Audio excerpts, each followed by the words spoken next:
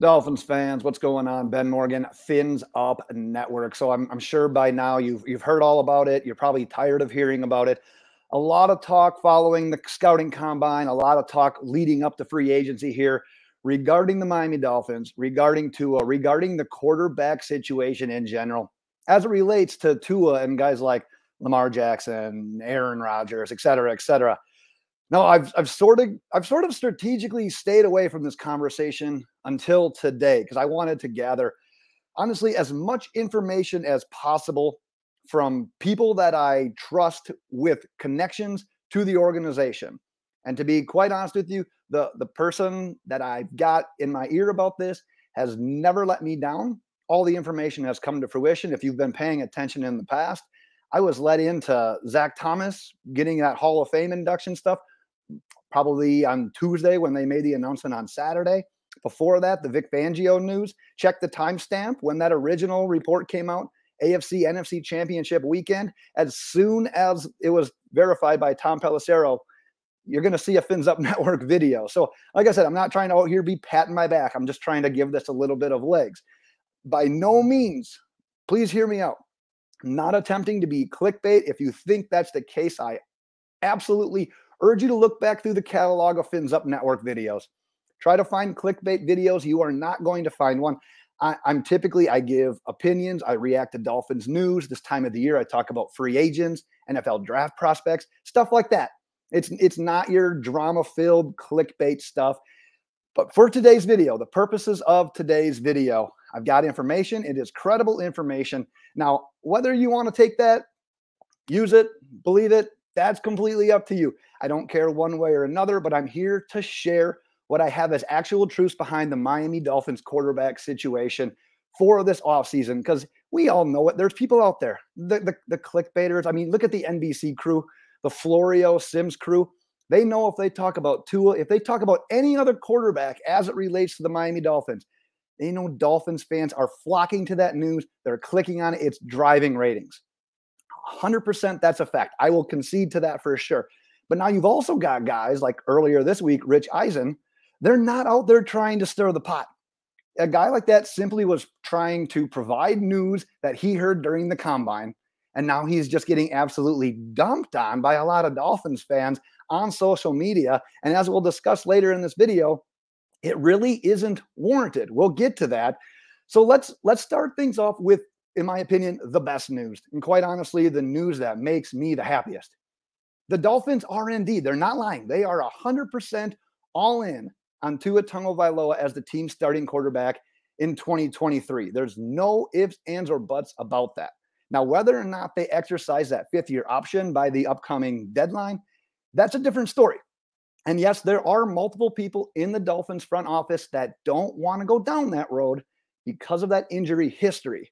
But even if they don't exercise that fifth year option, it doesn't mean that they're not committed to Tua for this year or potentially even for the foreseeable uh, future. Now, that whole fifth year option, that could legit be a video in itself. I will definitely be talking about that when it happens.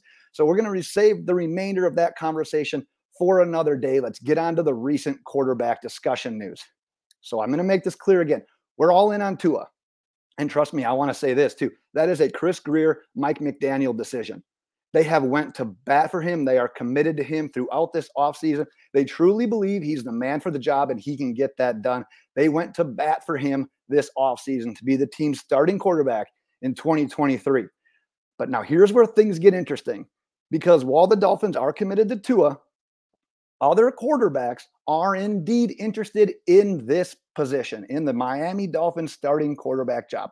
Well, I should say in some cases, they at least were interested in that job. So, so far this offseason, you've got Tom Brady, Lamar Jackson, Aaron Rodgers, Jimmy Garoppolo, and Derek Carr.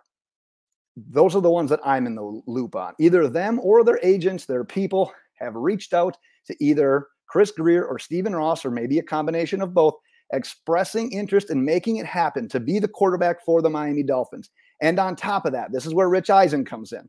Philip Rivers, despite what he is saying now, after that Rich Eisen report, did indeed reach out to the Miami Dolphins to see if they were interested in his services at quarterback. So, no, Rich Eisen wasn't trying to get clickbait.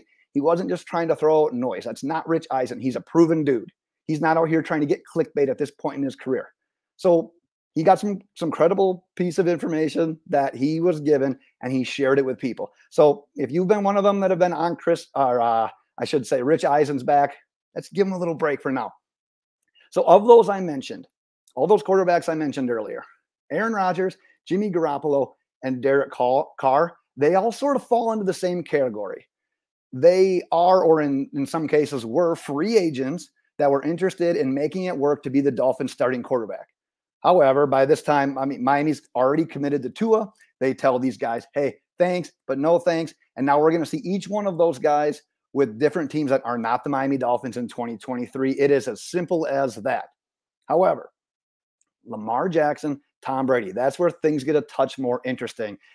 And the reasons they that they get a little bit more interesting has a lot to do with Dolphins owner Stephen Ross because it's no secret that Stephen Ross loves Lamar Jackson. Stephen Ross wanted the Miami Dolphins to draft Lamar Jackson, uh, however many years ago that was. Now I forgot the year in that draft, but he let Chris Grier be the general manager. Let him do his job. He takes Minkah Fitzpatrick. We all know what happens from there. But he let Chris Grier make that pick. But he absolutely wanted Lamar Jackson. But I feel pretty damn safe in saying that if the salary cap wasn't a thing in the NFL, and if the Miami Dolphins had more draft capital, Lamar Jackson would be Stephen Ross's probably 1A or 1B at quarterback. That's no stretch of the imagination. It probably shouldn't be all that hard to believe that as well. Stephen Ross loves Lamar Jackson. So, no, Lamar Jackson to Miami is not going to happen this offseason. And honestly, if, if Tua balls out in 2023 and he gets that extension that the Dolphins do want to give to him, Lamar Jackson to Miami probably never will happen. But you know what? That rumor, that buzz isn't going to die because Lamar Jackson absolutely wants to be in Miami. And on a side note, Stephen Ross wouldn't really mind if it happened. But like I said, Chris Grier, Mike McDaniel, they've got Tua's back. They want Tua to be the guy. So let's talk about Tom Brady. And, and honestly, this topic could also be its own video. I'm going to attempt to condense things as much as possible for you, though. And remember, as much as I I want to just make this clear, this is not me speculating. Nothing that I have said is like my personal opinion on this. My personal opinion is I want to, I absolutely want Tua to be the team starter in 23, 24, 25, the next 10 years. That's exactly what I want. But what I'm saying today is not personal opinion. Trusted source. Like I said, that has not steered me wrong. And, and the funny part about this information that we're talking about is honestly, there's a good chance none of it ever comes out and we never have to worry about it and we never have to worry about it even coming to fruition.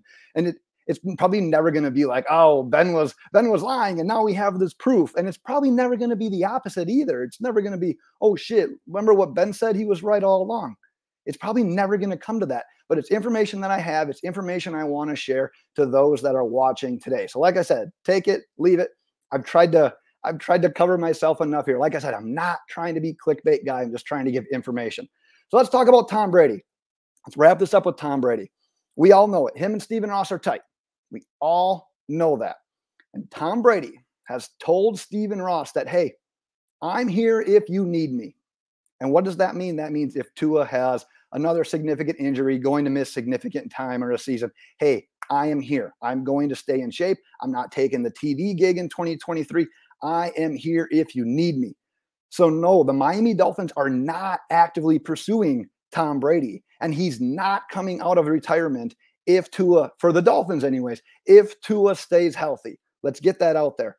But that door for Tom Brady to return, if Tua does get hurt, is definitely not closed. And Tom Brady has gone out of his way to tell Stephen Ross and the Dolphins that and to make them well aware of that. So don't think that a Tom Brady tweet about how he adopted a kitten for his daughter. Don't think that that slams the door on a potential return. But like I said, Tom Brady is not part of the 2023 plans for the Miami Dolphins. At best, he is an injury contingency plan. If something were to happen to Tua, that's it. And it essentially ends right there. And I shouldn't say it ends right there because there are some there's some crazy Tom Brady related stuff from even last season and earlier this offseason but like I said, I am definitely not going there today. So like I, like I said in regards to this video, take it, leave it. I promise I'm not trying to feed you bullshit. That is not my game. That's not why I'm here.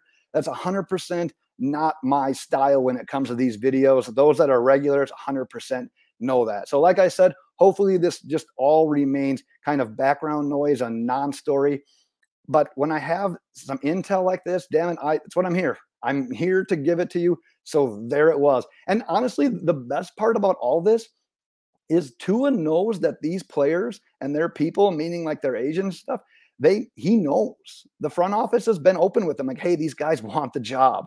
So it's not like the front office is even hiding this from Tua at this part. They're saying, hey, it's a coveted job, but guess what? You're our guy. You are our quarterback. Let's go out there and ball again, like we did uh, in the beginning of the 2022 season. And that's got to be that's got to be great. That's got to be an actually reassuring thing for Tua to hear. And man, is is he got to be just motivated as well after every single thing that he has been through. Now knowing that quarterbacks, high price quarterbacks, veteran quarterbacks, former MVP quarterbacks are coming to Miami and saying, "Hey, I want to be that your team's quarterback." And Chris Grier and Stephen Ross and Mike McDaniel are saying, "No, we're good. We're rolling with Tua." That has got to be awesome for Tua. That's got to be motivating for Tua. This team loves Tua Tagovailoa. Don't get it twisted. You already know that they they delayed putting him in concussion protocol to protect him from himself. They want they honestly want what's best with him at his this point in time with his health. But that's I'm kind of getting into that fifth year conversation now with the extension. So I'm going to cut it right there for the sake of time. But like I said, I, I hope we were able to answer a couple of questions today. Um, at the very least, like I said, not trying to start crazy shit, just trying to lay out the information that I have regarding the Miami Dolphins quarterback situation. So we'll cut it right there, Dolphins fans. We got free agency next week. It's going to be a hell of a time. But until then, Miami Dolphins fans, fins up.